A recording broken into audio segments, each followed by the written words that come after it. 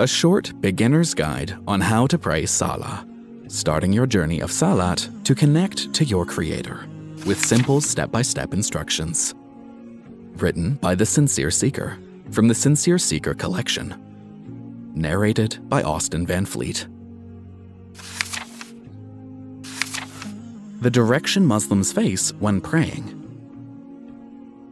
Muslims all face the same direction when praying Salah. We pray with our face and body facing the direction of Mecca in present day Saudi Arabia, where the holy house of God, known as the Kaaba, is situated. Muslims from all over the globe face this direction, where the first house was built on earth to worship the one God. Of course, we do not worship the Kaaba. We only use the holy house as a direction to face while worshiping the one God as instructed by God Himself. Prayers are only directed to God, our Creator.